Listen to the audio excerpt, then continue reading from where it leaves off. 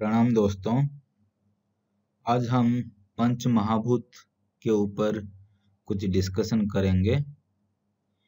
तो इसमें हम पंच महाभूत क्या है और उनका उत्पत्ति कैसे हुआ और उनका मानव जीवन के साथ, मनुष्य की रचना का साथ उसका कैसे संबंध है, वो चीज़ के ऊपर हम आज समझेंगे। तो पंच महाभूत क्या है? पंच महाभूत जो हम बोलते हैं, ये भूत शब्द, जो भी भूत शब्द है, ये हमारा भौतिक शब्द से आया हुआ है। भूत से ही भौतिक बना है। भौतिक मतलब क्या होता है? फिजिकलिटी जो भी फ़िज़िकल है, उसको हम भूत बोलते हैं। भूत से भौतिक विज्ञान या फिर फ़िज़िकल साइंस आया हुआ है। इसके ऊपर हम आज देखेंगे कि ये पंच महाभूत कैसे मनुष्य की शरीर का रचना करते हैं और इनका हमारे जीवन में क्या संबंध है। तो अब हम देख रहे हैं कि पंच महाभूत क्या है। तो पंच महाभूत क्या क्या चीज़ है? पंच महाभूत में हमारे पास आ जाता है आकाश, फिर वायु, फिर अग्नि, फिर जल, फिर पृथ्वी। यह पंच महाभूतों के पाँच नाम हैं। और उनके ये जो चीज़ हैं, नाद, बल, तेज, द्रव्य और जड़ता, ये उनके गुण हैं। तो आकाश के क्या गुण हैं? आकाश का गुण है नाद। नाद मतलब क्या होता है? वाइब्रेशन और इसका जो हम अनुभव करते हैं, अपने अंदर जो परसिव या फिर जो सेंस करते हैं, अनुभव जो करते हैं, वो होता है शब्द। ठीक है? तो शब्द जब हम सुनते हैं, वो आकाश का एक गुण है वाइब्रेशन का एक गुण है। वाइब्रेशन के कारण शब्द बनता है। फिर हम वायु पे चले जाते हैं। वायु जो पंच महाभूत है, दूसरा पंच महाभूत वो उसका गुण है बल। बल मतलब क्या होता है? फोर्स मतलब हम कितने बल से किसी को आगे पीछे खींच रहे हैं या फिर कुछ भी कर रहे हैं तो ये चीज़ होता है बल। और इसका अनुभव हमें स्पर्श से होता है। स्पर्श से कैसे होता है? जैसे हम किसी को टच करते हैं या फिर किसी को छूते हैं तो जो चमड़ी है, वही चीज़ हमको महसूस कराता है कि हम किसी को टच किए हैं या फिर स्पर्श किए हैं। तो स्पर्श से हमको पता चलता है कि एक बाउंड्री है। बल वो चीज़ है जो बाँध देता है किसी को, कोई चीज़ को। एक लेयर बना देता है बाउंड्री बना देता है। तो ये उसका बाउंड्री वाला चीज़ है। और ये बाउंड्री क्रिएट करता है फोर्स और उसके बाद तीसरा जो हमारा महाभूत आता है, वो है अग्नि। अग्नि मतलब क्या होता है? उसका गुण है तेज मतलब क्या? टेम्परेचर तेज मतलब टेम्परेचर उसमें आप ठंडा या फिर गर्म ये महसूस कर सकते हैं और तेज के कारण ही हम किसी को देख पाते हैं। आप देखे होंगे कि हमारे पास आजकल विज्ञान में थर्मल इमेजिंग आ गया है। जैसे कि अंधेरे में आपको किसी को देखना है तो हम कैसे देखते हैं? एक थर्मल ग्लास होता है हमारे पास थर्मल चश्मा होता है जो मनुष्य के शरीर का या फिर को, कोई भी जीव के शरीर का जो उसका टेम्परेचर होता है बॉडी का, उसी के आधार पे उसको हम देख पाते हैं। जैसे आप मूवीज़ या फ़िल्मों में देखे होंगे कि कोई चश्मा लगा लेता है और रात में जानवर उसको दिख रहे हैं या फिर इंसान को ढूंढ रहे हैं तो इंसान दिख रहे हैं, इसी तरह का। तो हम टेम्परेचर या फिर तेज के कारण हम कोई चीज़ को देख पाते हैं और उसका अग्नि का सबसे बड़ा जो हमारे पास चीज़ है, वो है सूर्य। सूर्य उसका प्रतीक है। फिर हमारे पास चौथा जो महाभूत है, वो है जल। जल का गुण क्या है? द्रव। मतलब वो अपने अंदर किसी को द्रवीभूत कर देता है, डिजोल्व कर देता है। और एक तरह का उसका फ्लो है, जो अपने अंदर उसी फ्लो में सभी को वो अपने अंदर समेट लेता है। जैसे आप पानी के अंदर कुछ डालेंगे तो वो अपने अंदर उसको समा लेता है। आप नमक को डालेंगे तो वो अपने अंदर। तो इसी के वजह से अगर जल नहीं होगा तो हमारे पास स्वाद चीज़ जो हम महसूस करते हैं वो नहीं आएगा। तो जल के कारण हमें स्वाद का अनुभव होता है। पांचवा महाभूत क्या हो गया? पृथ्वी। पृथ्वी वाला चीज़ क्या करता है? ये जड़ता का प्रतीक है, इसका गुण जड़ता है स्टेशनरी मतलब ये जड़ वाला जो चीज़ होता है, उसी को हम, हमें महसूस कराता है। या फिर इसी का अनुभव होता है, गंध। जड़ता इसका गुण हो गया, गंध उसका हमारा अनुभव हो गया। गंध मतलब क्या? जो भी हम स्मेल करते हैं। अगर पृथ्वी नहीं होता तो हमें गंध, चीज़ हम महसूस नहीं कर पाते। ये हो गया उनके गुण और इनके अनुभव के पाँच तरह के अनुभव। फिर इनके अनुभव करने के लिए हमारे पास इंद्रिय होना चाहिए, जो इंसान में होता है। तो ये पाँच इंद्रिय क्या हो गए? कान, चर्म, आँख जीवा और नाक। तो जैसे मैंने बताया, कान क्या करता है? कान शब्द को सुनता है। और चर्म क्या करता है? चर्म के कारण हमें स्पर्श को महसूस करते हैं। आँख क्या करता है? आँख हमारा देखता है। तो आँख के कारण हम कोई रूप को देख पाते हैं। और जीवा क्या करता है? जीव जो होता है, वो क्या करता है? कोई चीज़ का स्वाद ले पाता है। और नाक जो होता है, वो कोई चीज़ का गंध ले पाता है। क्योंकि ये पंच इंद्रिया के कारण हम कोई चीज़ को अनुभव कर पाते हैं, इसलिए इन्हीं को पंच ज्ञानेन्द्रिय भी बोला जाता है, क्योंकि ये हमें कोई चीज़ का ज्ञान कराता है। ठीक है? और ये ज्ञान हमें अनुभव से प्राप्त होता है। और ये पंच इंद्रिय क्या कराता है? हमें अनुभव कराने में सहायक काम करते हैं। ठीक है? क्योंकि अनुभव ही ज्ञान है तो ये पंच इंद्रिय हमको वो चीज़ को अनुभव करने में और उससे अनुभव करके उससे ज्ञान प्राप्त करने में हमें सहायक चीज़ के जैसा काम करते हैं ये। और ये जो हम मुख, हाथ, पैर, गुदा जनेन्द्रिय बोले हैं, ये सब क्या है? ये सब कर्मेंद्रिय है। कर्मेंद्रिय क्या होता है? जैसे हम अभी सुने शब्द को। अगर हम वो ही शब्द को अपने कर्म से उसको करना चाहते हैं, जैसे हम शब्द निकालना चाहते हैं तो हम कैसे निकालेंगे? मुख से हम कोई भी शब्द को निकालेंगे।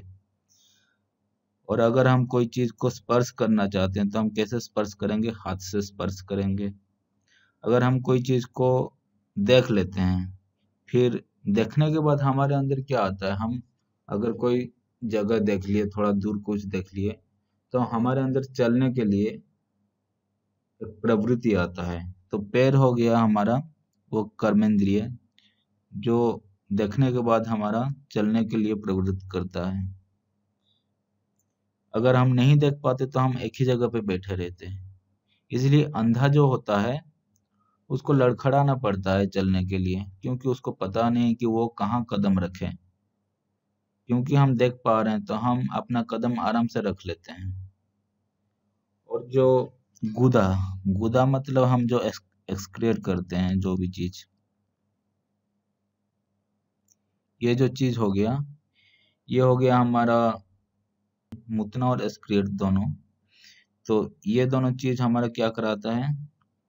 ये स्वाद का चीज़ है कि कोई हम चीज़ खा लिए तो उसको हम एक्सक्रिएट करते हैं। गुदा से, गुदा भी चीज़ है। गुदा में दोनों मल और मूत्र दोनों आ जाते हैं।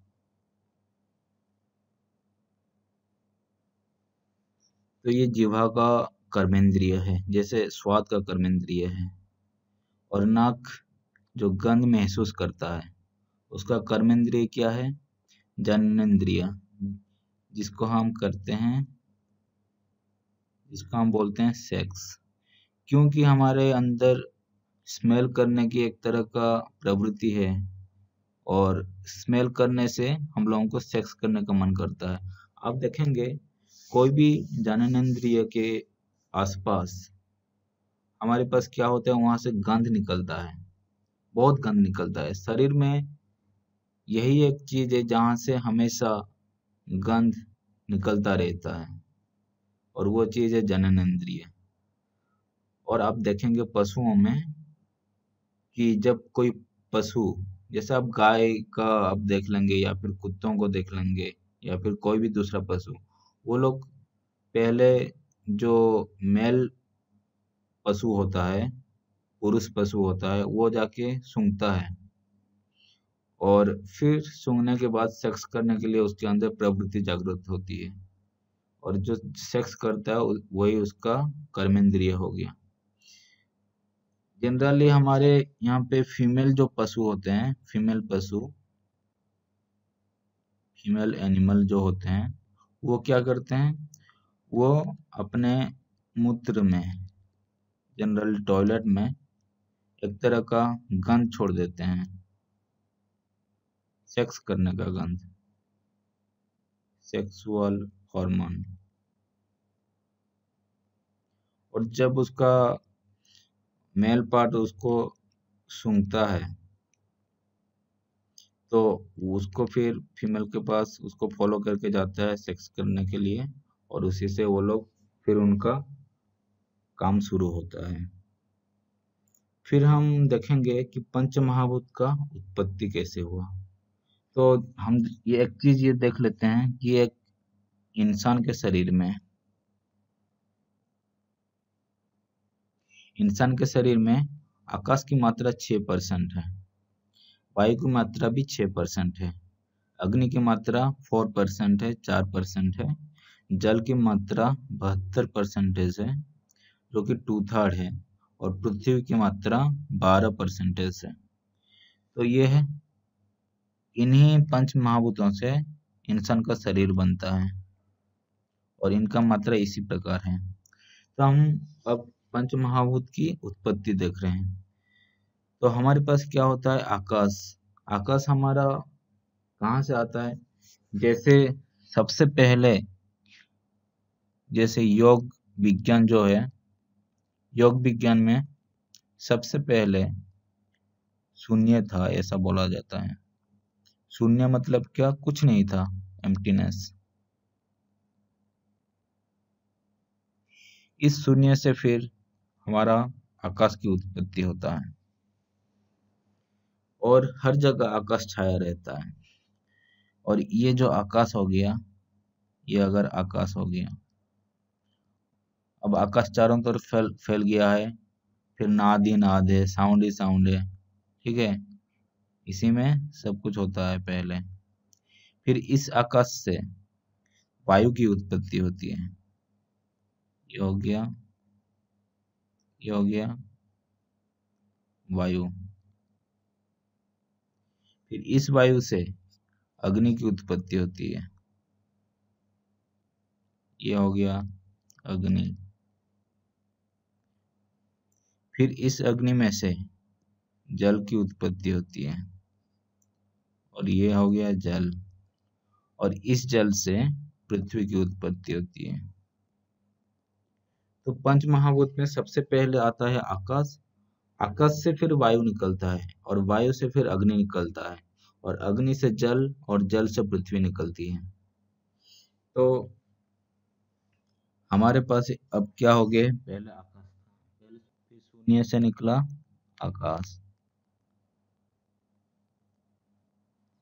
आकाश जब निकला, इसके पास क्या था? गुण, नाद मतलब वाइब्रेशन अब आकाश से फिर निकला हमारा वायु। अब जब आकाश से वायु निकला है, वायु में आकाश का नाद गुण भी होता है और नाद के साथ स्पर्श गुण भी होता है। और नाद गुण हमेशा रहता है इसमें। फिर जैसे वायु से निकला हमारा तेज या अग्नि। क्योंकि तेज वायु से निकला है तो वायु के गुण क्या हो जाएगा? नाद और स्पर्श तो वायु में थे ही। अब नाद और स्पर्श के अलावा उसके पास और एक गुण आ जाता है, जो कि तेज है, यानी टेम्परेचर है। टेम्परेचर ये गुण आ जाता है। अब फिर अग्नि से फिर क्या होता है? अग्नि से हमारा निकलता है जल। जल में क्या क्या गुण होते हैं? जल में होंगे हमारे पास क्या क्या गुण? नाद, प्लस, स्पर्श। जो भी अग्नि में गुण होंगे, प्लस उसके साथ हमारा रस का गुण जुड़ जाएगा। प्लस रस। ये गुण तो पहले ही अग्नि में थे और अग्नि से जल निकला है, इसलिए अग्नि का गुण इसमें रहता ही है और उसके साथ रस का गुण जुड़ जाता है। और पृथ्वी जो चीज़ होता है पृथ्वी पृथ्वी में ये चार गुण जो भी यहाँ पे बताए गए प्लस उसके साथ क्या आ जाता है? गंध वाला गुण होता है। तो ये गंध वाला गुण जल में नहीं होता है और रस वाला गुण इसमें नहीं होता है अग्नि में और अग्नि का जो गुण होता है तेज तेज वाला गुण वायु में नहीं है। है वायु में पर छुपा हुआ है। और रस वाला गुण अग्नि में है बट वो छुपा हुआ है। और जो गंध वाला गुण जल में नहीं है, पर जल में छुपा हुआ है। तो सारे गुण आकाश में भी छुपा हुआ है और आकाश का गुण शून्य में छुपा हुआ है। तो सारे जो पंच महाभूत का गुण है, वो शून्य में छुपा हुआ है। और पंच महाभूत का गुण आप बोल भी सकते हैं कि आकाश में भी वो छुपा हुआ है। तो इसी तरह वायु का जो गुण हो गया स्पर्श वो आकाश में नहीं होता है बट वो छुपा हुआ रहता है। अगर नहीं होता तो वो निकलता कैसे? वो बात है। तो वो हमेशा होता है पर उसमें उसका गुण पाया नहीं जाता। तो इसी तरह का चीज़ है। वो उसमें छुपे हुए रहता है तो दिखता नहीं है। वो प्रकाशित नहीं होता है आकाश में। आकाश का सिर्फ़ गुण होता है नाद। ये हो गया पंच महाभूत के उत्पत्ति के बहुत सारे किस किस तरह उत्पत्ति हुआ और ये किस तरह काम करता है। और एक चीज़ है जिसमें कि आपको जैसे हम मॉडर्न साइंस में देखते हैं मॉडर्न एलिमेंट्स तो ये एलिमेंट्स के साथ हमारे पंच महाभूत को हम कैसे एसोसिएट करेंगे? आप अगर ले लिए, कोई भी एलिमेंट्स ले लिए, जैसे सोना ले लिए, गोल्ड, या ले लिए आप लोहा, ये हो गया आपका आयरन। तो आप एलिमेंट्स में आप देखेंगे कि एलिमेंट्स में क्या चीज़ होता है? एक इलेक्ट्रॉन होता है, एक प्रोटॉन होता है और एक न्यूट्रॉन होता है। तो इन तीनों की मात्रा, जैसे परसेंटेज जैसे जैसे ऊपर नीचे होता है या फिर बढ़ता घटता है, उसी के हिसाब से हमको अलग अलग तरह के एलिमेंट्स मिल जाते हैं। जहाँ पे एक इलेक्ट्रॉन होता है, वहाँ पे हाइड्रोजन आ जाता है। एक इलेक्ट्रॉन एक प्रोटॉन होता है तो हाइड्रोजन आ जाता है। दो इलेक्ट्रॉन, दो प्रोटॉन होता है और एक न्यूट्रॉन का कुछ परसेंटेज होता है तो हीलियम आ जाता है। फिर हाइड्रोजन हीलियम लिथियम आ जाता है beryllium boron carbon nitrogen oxygen ऐसे ही बहुत सारे एलिमेंट्स आ जाते हैं। ये हो गया एलिमेंट्स का खेल और महापंच महाभूत का खेल। तो मैं सोचता हूँ कि आप कुछ समझ गए होंगे इसमें और इसका आधुनिक विज्ञान के साथ कैसा रिलेशन है, ये भी आप समझ गए होंगे थोड़ा बहुत। तो मैं यहाँ पे ये टॉपिक को ख़त्म करता हूँ। ठीक है, धन्यवाद। अगर आपको वीडियो अच्छा लगा तो आप ज़रूर शेयर कीजिए ताकि दूसरे भी ये चीज़ को जान पाए। धन्यवाद, नमस्ते।